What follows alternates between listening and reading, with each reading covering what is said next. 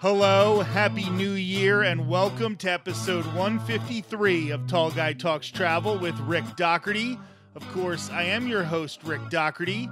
On the show today, my good friend Scott Kumka will be here to talk about his various attempts to raise money for Give Kids the World. Back in November, Scott attempted to visit every resort on Walt Disney World property, and he's already completed the Every Ride Challenge at Walt Disney World. We're going to talk about his resort hopping day and how the changes to the park hopping rules will help more people complete the Every Ride Challenge. Let's get right to it. Thanks for being here, Scott. Thank you. Nice to be here. So, the first thing I want to discuss with you is to raise money for Give Kids the World back in November. You did not the Every Ride Challenge, which people have done, and we're going to talk about the Every Ride Challenge in a little bit, but you hit every Walt Disney World resort. And I don't think people really understand how daunting of a task it is to do that so, first of all, I want to talk about how many resorts there are on property, how many resorts you wanted to try to hit in this one calendar day. Um, there are, depending on how you count it, there's 21 official Disney Disney resorts. I did 23 because I also did the Swan and Dolphin, which are they're very big hotels and they're very much a part of the Crescent Lake area. So there's like I couldn't not do those. So there was 23 that I went to. Yeah, I don't know how many people realize that the Swan and Dolphin aren't technically Disney hotels, but that's a whole nother story for another time. But you oh. did them anyway. So that means you were doing about 23 resort hotels I know that there's a little bit of a caveat that you want to say that you kind of cheated with one. The one that I didn't really set foot on was um, Port Orleans French Quarter. I was at Port Orleans Riverside. I ended up waiting about a full hour to get on the boat that was going down to Disney Springs. And with the, the time limit that I was giving myself, there wasn't any way to really get off and still make it to that hotel if I would have gotten out of line and actually walked over there, it actually probably would have been. I might have actually made it because the line at at the French Quarter was about an eighth of the line at Riverside. So that's okay. I think anybody who knows French Quarter and Riverside knows that Port Orleans area. When you were taking the boat, you were basically in Port Orleans French Quarter. You just weren't on the ground. You were going past it on a boat. So So I did get pictures of the resort, but I wasn't really at the resort. I would consider that you being at the resort. I'm going to count it. so, when you're looking at doing this, I think a lot of people who are listening know that these resorts are spread out. You know, what is it, two times the size of Manhattan or whatever, these resorts are spread out over a big space. And sometimes it can be a hassle just to get to some of them, like the monorail resorts that don't necessarily want you parking. And we'll get into all of that in a little bit. But when you were creating your strategy for how to try to get all of these done, which ones did you want to do earlier and which ones did you think it would be better to do later in the day? the big thing for me was basically there's four areas of resorts. There's basically the Animal Kingdom area. There's the Magic Kingdom monorail loop. There is the Epcot Crescent Lake, and then there's basically what's called the uh, Sassagoula River, which is Port Orleans down to Disney Springs. Um, so I wanted to start in one of the farthest corners possible, which would either be Saratoga Springs, the Animal Kingdom Lodge, the Poly, or I guess Fort Wilderness would be the one on the the far farthest on the northeast side.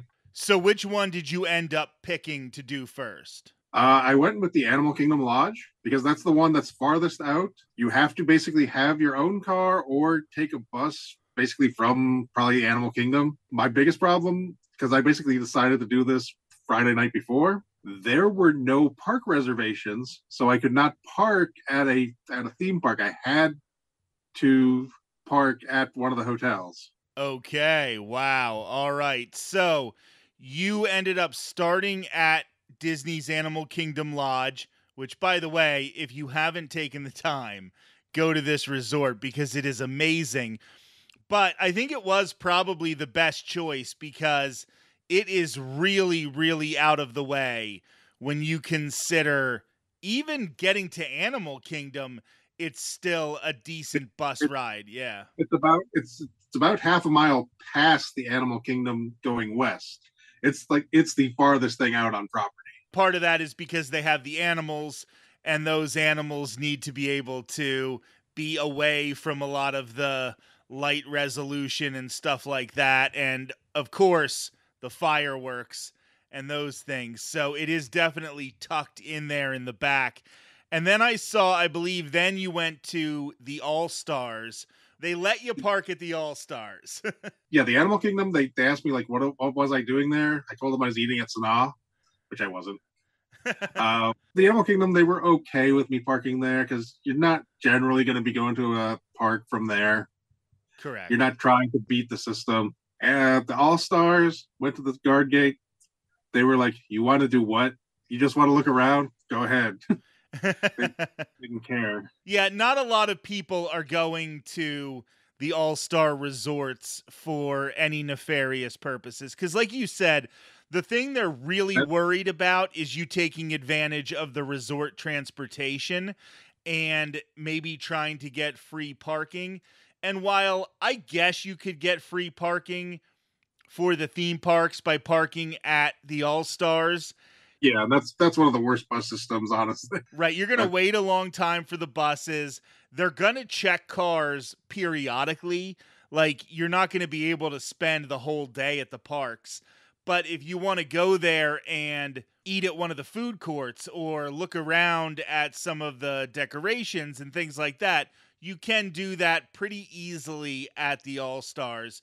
And this was probably super easy for you because you can just walk in between the three resorts. That is what I was doing, but I kind of had to use uh, like Google Maps to figure out where which what was the shortest route to walk through the three different between the, the sports, the music, and movies.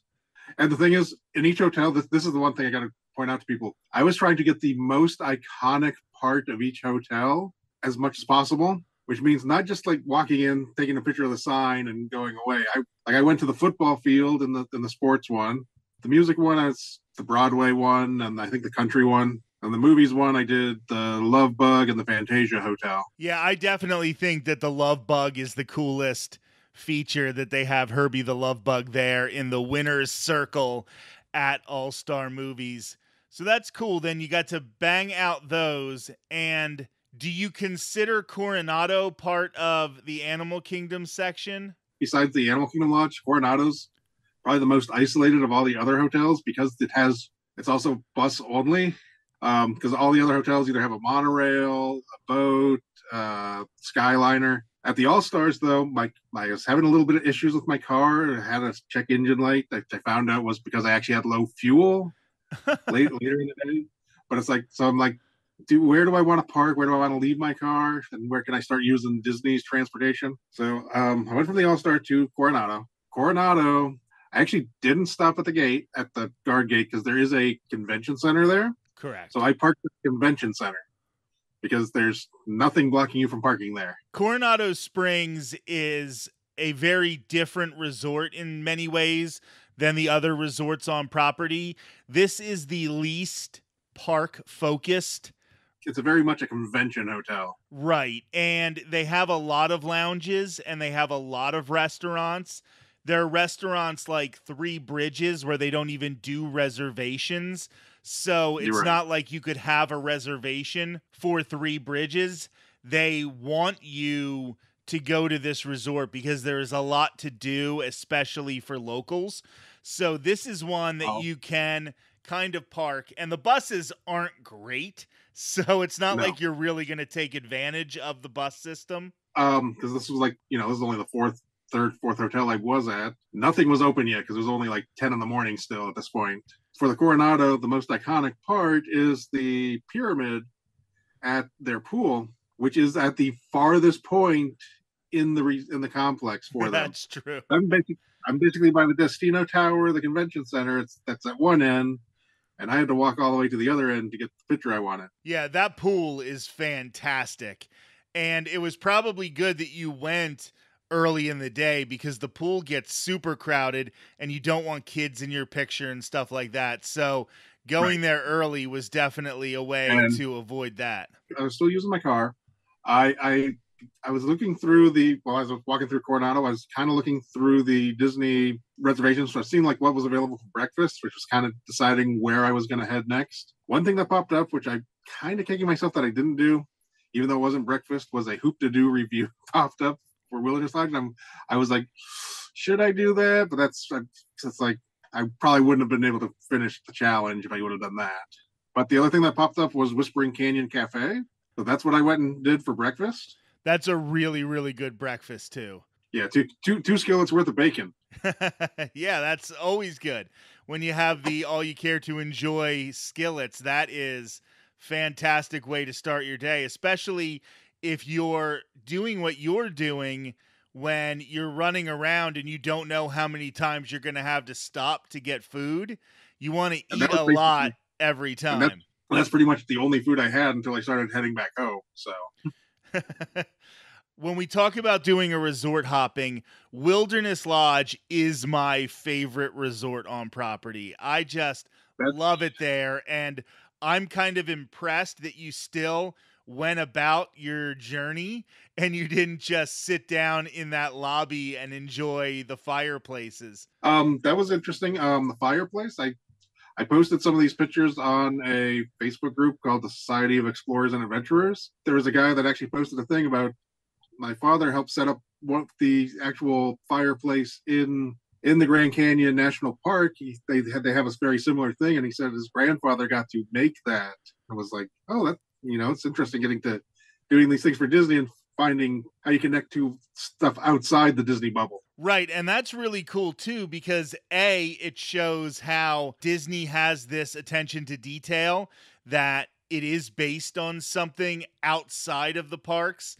And it does bring that outside world of travel into the Disney parks. Was that what you considered to be the most iconic thing at Wilderness Lodge, the fireplace? Um, I went with the fireplace. I also did the totem pole in front of the gift shop, just a little goofy picture. That one. If I would have gotten that, if I would have hit it at the right time, just because of breakfast, breakfast took a little longer than I was expecting. Took about an hour. I didn't quite hit. The other thing I would have went for was the um, get a shot with the geyser. Correct. Wasn't going off the time I passed by there, so. No, and I think that the fireplace counts as the iconic thing at that resort. I definitely feel like when I think of Wilderness Lodge, I think of that big fireplace. So, where did you go next? You said you had trouble getting to Fort Wilderness. So, did well, you not go there next? Well, that's the thing is, I, I left my car at at the Wilderness Lodge all day long. At that point, I went out to the boat docks. That's why I was, you know, the guys at the geysers. I'm walking up the boat docks, there's two different flags for the boats there. One that goes to the Wilderness Lodge and the Contemporary. One that goes to the Magic Kingdom, Grand Floridian, Poly. Unfortunately, the one that was going to the Wilderness Lodge didn't start until 3:30. Fort Wilderness, but I understand what you're. Oh, sorry, sorry, Fort, Fort Wilderness. Right. so it's like it's okay. So I had to decide. So I had to go to. I was going to the monorail loop Okay, so, cool. So you get to bang out three pretty quickly, then I would imagine, right? Uh, fairly quickly, except yeah, I went from the Wilderness Lodge to actually to the Magic Kingdom. I got off there and got on the monorail to the Contemporary. So that was figured that was actually going to be the fastest way to travel. Yes. So I stopped, you know, did the Contemporary actually stop for a drink at the Outer Rim Lounge. Ooh, sneaky good lounge, by the way. They yeah. reopened this I mean, it's probably been a while now, but I remember that this wasn't open for a while. And now that it's back, I am really excited about that. Definitely a good place to get a drink when you are close to the theme park. Actually, if you weren't doing this challenge, the contemporary, you can literally walk there from Magic Kingdom if you want to take a break in the middle of the day. I, am debating whether do I want to take the monorail or walk there. I figured it's probably fast at the time. It was probably fast to take the monorail. because early in the morning the monorails are running pretty quick. If you go later in the afternoon, not as much. Correct, and not many people are going from Magic Kingdom to the contemporary at that time in the morning. Right. They're more going to Magic Kingdom. So definitely Yeah. the smart choice there. And then did you just go to the Poly and to the Grand right after that? Yes. What did you Although the- consider the iconic feature of all three of those resorts?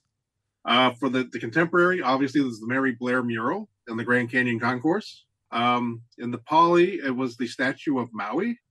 Okay. I know yep. people, yeah, people don't don't know that that's supposed to be Maui. That the little the little guy in the in the center of the lobby that's Maui. Yeah, long before Moana and Yeah. that movie, Maui had always been in the Polynesian. And then for the Grand Floridian, I basically just took a shot of the lobby, like from the the top. But I went downstairs because they had just opened the uh, gingerbread house. Oh, that's awesome. Yeah, you got to love that. Uh, I would have gotten something from the gingerbread house, but I was asking people around. It was about a 90 minute wait for a gingerbread cookie. I am not waiting 90 minutes for a gingerbread cookie. You know, I'm going to say something that might be an unpopular opinion. I love to look at the gingerbread house. I hate all the things they have for sale there.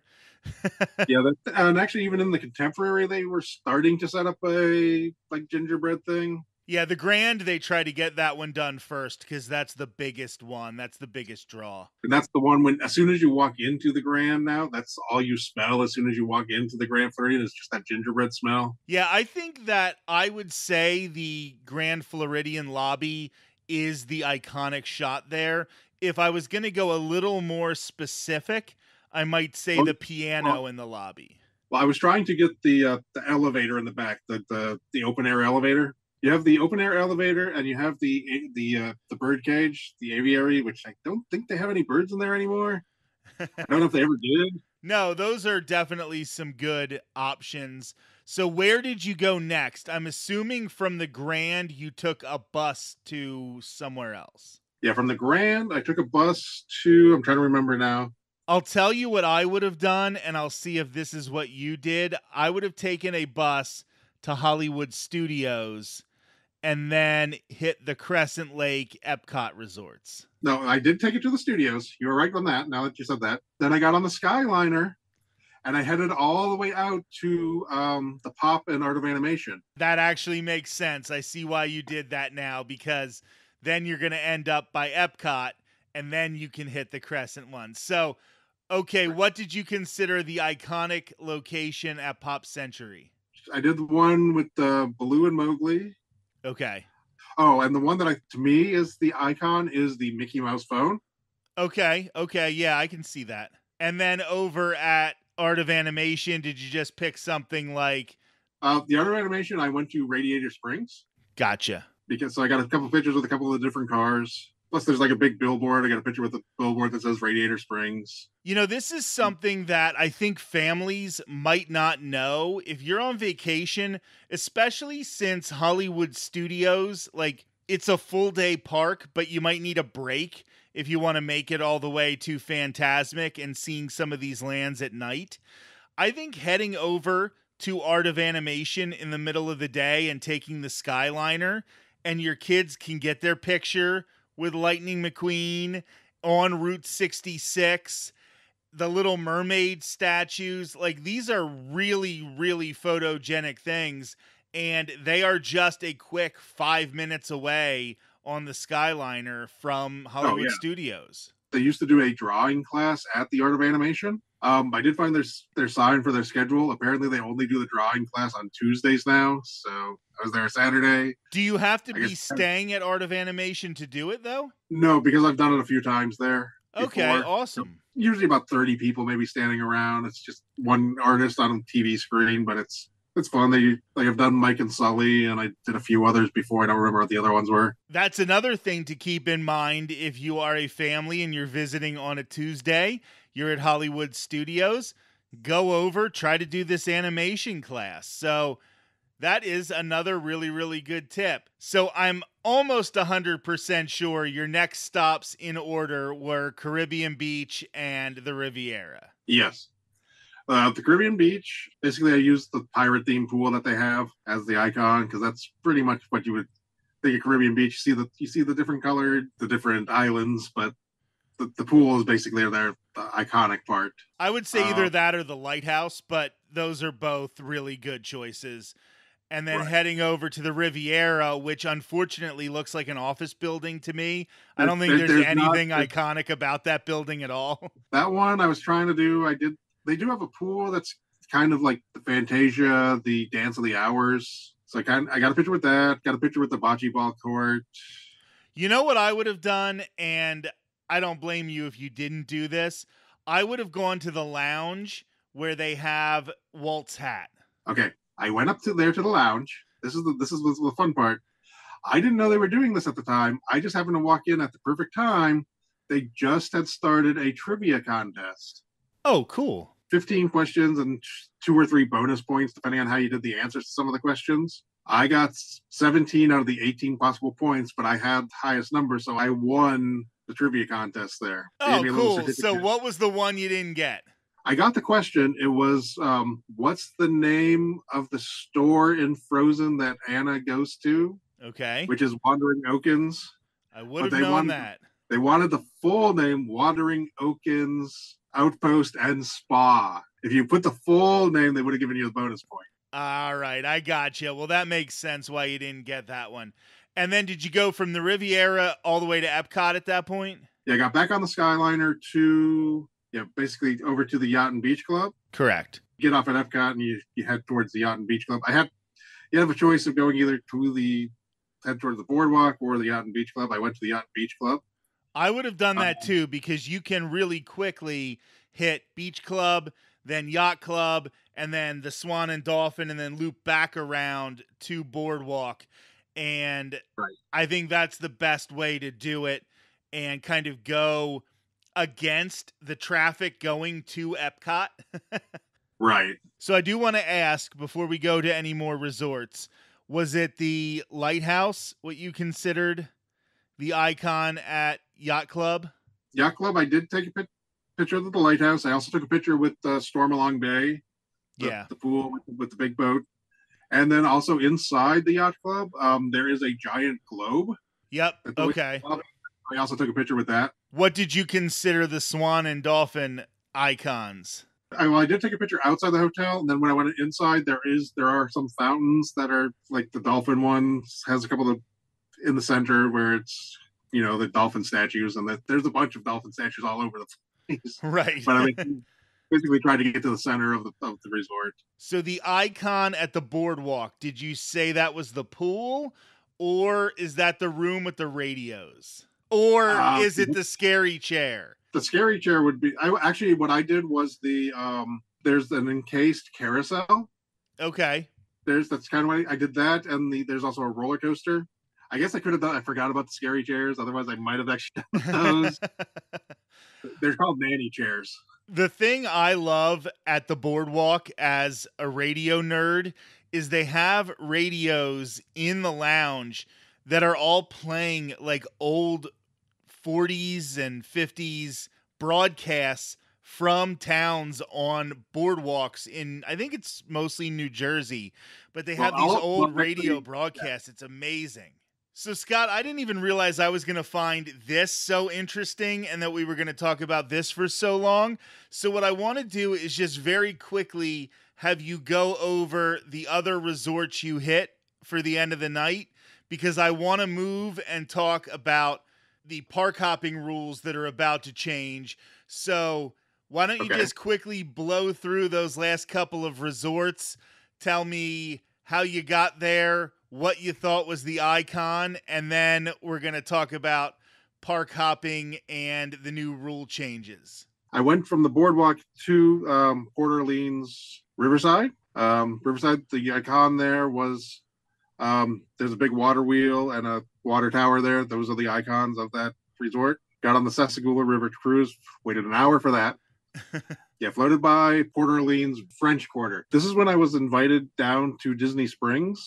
Ended up going to uh, Art Smith's homecoming with a few other people from Twitter that met up there. The biggest one being Nomad Lounger. If you know who he is, i actually, I know I know you know who he is because right. I have been kissed, and that picture is on Twitter right now by Nomad Lounger. So, yeah. So then you headed to Disney Springs. Actually, before Spring, as I got off at Springs, um, the boat dropped me off by the Rainforest Cafe. So I'm like, okay, Rainforest Cafe's here. Saratoga Springs is right there. So I like walked over.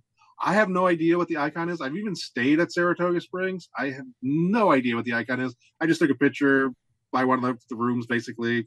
okay, yeah, I'm at Saratoga Springs. Okay, I, I would have gone with the horse that's right outside the main entrance. Like there's a horse statue right there, but yeah, okay. you know, whatever. It's not really a big deal. That's actually where I stayed my first day back after the pandemic closures. I stayed four straight nights there, so I was able to go to all four of the parks with reservations in that first week after they reopened. So that was pretty cool. Just a little side tangent there. went to homecoming and then um at that point I thought, oh, I thought it was I thought it was super late. I wasn't gonna complete it. It was only eight o'clock. It's just because it got dark so fast because of the time change. My goal is basically I have to get there before any of the restaurants close in any of the hotels. Latest one was eleven o'clock. I got on a bus to Fort Wilderness. Luckily on the bus, I got I met a couple there. They're like, oh, we have a golf cart. So they were able to take me on the golf cart from the bus stop at Fort Wilderness up to Pioneer Hall. Awesome. Awesome. That's really helpful then. yeah. So, the, of course, the icon there, of course, is Pioneer Hall. That is basically the icon of Wilderness, uh, not Wilderness, Fort Wilderness. Yeah. I mean, there's not a lot of stuff happening at Fort Wilderness because of its purpose. it's a campground. So was that your last one, or did you hit Old Key no, West? I did get to Old Key West. Um, I took the boat again back to. Remember, my car was parked at the Wilderness Lodge, so I took the boat back from Fort Wilderness over to the Wilderness Lodge, ran through there, and drove down to. Unfortunately, I made a wrong turn. Drove all the way down to Disney Springs, then had to come back up. um, but yeah, I got I went into uh, Old Key West and ended up at the at the end of the night having a drink at the bar called the Gurgling Suitcase. Was there a reason you decided not to just walk over from Saratoga Springs? Did you think that was going to take too much time, um, or did you want to get back to meet people in Springs? No, no, no. I had to look at Saratoga Springs. There wasn't a very convenient way to get to Old Key West from the Saratoga Springs. Okay, that makes sense. Right. All right. Now I want to turn our focus a little bit. You did this resort challenge for Give Kids the World. There's going to be a link in the description to this podcast where you can donate to Scott's page. But what you have done before, and you have completed it twice, I believe. Is that correct? I've completed it three times here in Walt Disney World and once out at the, the Disneyland Resort and you do the every ride challenge, which was definitely hindered over the past few years when you're talking about the park hopping rules, where even right now, you're not allowed to park hop until two o'clock in the afternoon. That is going to change. That is going away on the 9th, where now all you're going to have to do as an annual pass holder like Scott or myself is you will have to still make a reservation for your first park and you do have to start at that park but you can park hop immediately which means that let's say it's hard to get a reservation for Magic Kingdom and you just want to quickly make an Animal Kingdom one and you can scan your band and go head over to Magic Kingdom oh, if you want. there are two rides that kind of limit you to either Magic Kingdom or uh, Epcot at the moment though. That being, of course, Tron. As long as they're still doing the the virtual queue, you can you can get individual lightning lanes, but if you want to not pay the 20 30 dollars that disney charges you either got to try to get the one at the tron or you have to try to get um, at epcot the guardians of the galaxy okay yeah so now we're going to get into the every ride challenge a little bit here so let's say that you make your park pass reservation for let's say Epcot. Let's pretend that it's a late night at Magic Kingdom. Magic Kingdom's going to be staying open till midnight. So you make your park pass reservation for Epcot so you can get that boarding group for Guardians of the Galaxy. And then try to get to Magic Kingdom to get the one o'clock drop, or do you just suck it up and pay the price at that point? Um, most people try um usually just pay for the the individual lightning lane because that way you can kind of pick the time that you want. Where if you're waiting for the drop, you may get stuck at a time you don't want. That's true. That's true. I can see that, especially with Tron because they are much stricter about what time you use your Right, and I've actually saw there was someone running a couple weeks ago that they were almost too long. They they were the next group to be called at the end of the night, and they cut off the line, and so they weren't able to complete it. Oh man, that is a drag. So what do you think just in general about these park hopping rules being gone? I know that a lot of the reason you're happy about it is because of the every ride challenge, but of all the Um, people I know on Twitter, you were kind of like the most frustrated about the park hopping rules. Not only that, not not just even the ride challenge. It's also like if you go to the Magic Kingdom, Magic Kingdom sucks for food. Yep. You go to Epcot, and there's 20 great restaurants you can pick from. There, you go to even the Animal Kingdom, there's a couple really good restaurants you can pick from. Studios, there's still a few there too, um, but the Magic Kingdom's the worst. I also think that Magic Kingdom has a tendency to open either the earliest or the second earliest in the morning right after Animal Kingdom, but Yeah, also stay open the latest some nights. So it does make sense if you want to rope drop Magic Kingdom, get a bunch of rides out of the way really early in the morning, and then head over to Animal Kingdom at about 10 o'clock when the crowds really start to show up at Magic Kingdom. Yeah, and also Magic Kingdom has what we call early closers. The riverboat, um, the train, they close at like six or seven o'clock. Even on nights when they're open till midnight, those two rides close early. Absolutely. Yeah, that is a good point as well. Now that's one thing if you're out at Disneyland though. They close down for the fireworks, but Disneyland, they reopen their railroad. Well, yeah, their railroad is much more substantial to the park than the Walt Disney World Railroad is, And there's a lot more to see along that track than there is at Magic Kingdom. Magic Kingdom, a lot of bushes. especially at night. It wouldn't be that exciting at Magic Kingdom, unlike when you go through the dioramas and things like that over in Disneyland. So, would that be what you would probably try to do the next time you try to do a ride challenge? You would start it at Magic Kingdom, or would you start Um, it somewhere else? Most likely Magic because you also have the vehicles on Main Street, which generally only run less than the first hour of the day. Yeah, they shut those down quick. I've only done them like once or twice because that's how quickly they do shut them down for the day. That's also another Disney World versus Disneyland. Disney World, they shut them down quick. Disneyland, they're running all day long. There's a lot of things better at Disneyland. Like we're not going to have that discussion right now, but Scott, I tell you what, this was a much longer conversation than I expect. I really appreciate you hanging out with me a little longer than I thought, and I'm going to have the link to your Every Ride Challenge page in the description. Give kids the world, just let everybody know what they do very very quickly. I think most people know, but you know, you can give them a little refresher. Yeah, Give Kids the World, they have a uh, complex out in Kissimmee.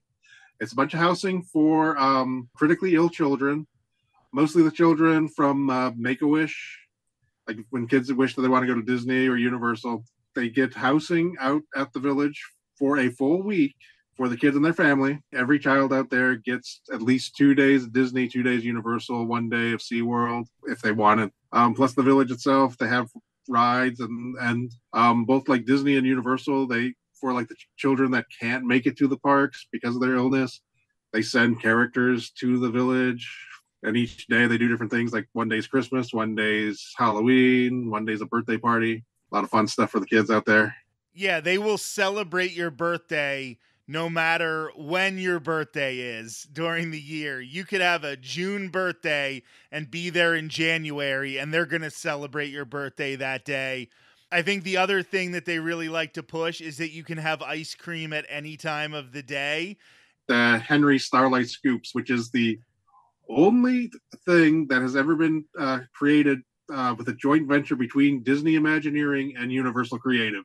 Oh, wow. What a great piece of trivia to end this episode. I love that one, man. Scott, thank you so much for all that you do trying to raise money for Give Kids the World. And thanks for being on the show. Thank you. This has been episode 153 of Tall Guy Talks Travel with Rick Doherty. Do me a favor and take 30 seconds to make sure you're subscribed to the Tall Guy Talks Travel with Rick Doherty YouTube channel. While you're there, comment on some videos and podcasts. We want to continue to grow this. I'll be back next Thursday with Sarah Says. The two of us are going to pick the five best times to visit Walt Disney World in 2024. That will be next week on Tall Guy Talks Travel with Rick Doherty. Until then, have a great week.